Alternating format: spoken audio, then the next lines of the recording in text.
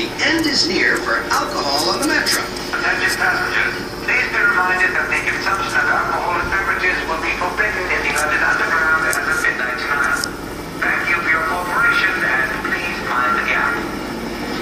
And how do the British deal with a proclamation limiting their consumption?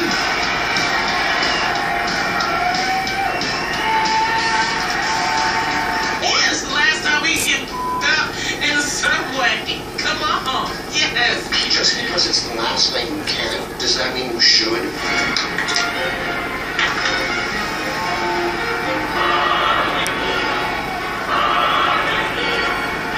The British are so much more classy and distinguished than we Americans are.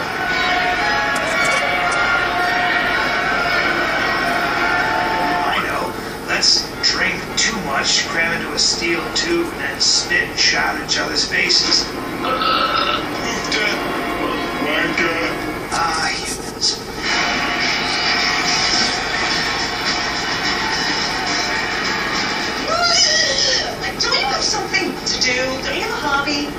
How to knit.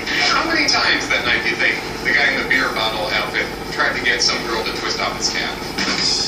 No pun intended. What's happening with the one person and who's actually just trying to get home from work? It's like, what in the... Ian Gill. This behavior will never party ends, six tube stations are shut down and 17 people arrested, making a fairly sober case for keeping alcohol out of the underground. I guess I'd be out drinking and partying it up too if you couldn't drink anymore.